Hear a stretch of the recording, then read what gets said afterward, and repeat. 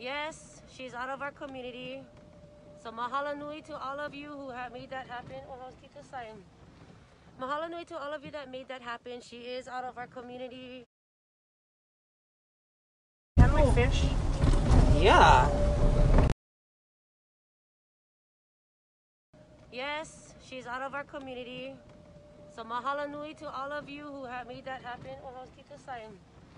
Mahalo nui to all of you that made that happen. She is out of our community, and apparently she was picked up. Um, we heard on top of the uh, her YouTube live. Her YouTube live showed that. Oh, hi officer. She got picked up in town. Yeah. Okay. Thank you so much. Have a wonderful rest of your day. Aloha. Okay, so mahalo nui to the community at large.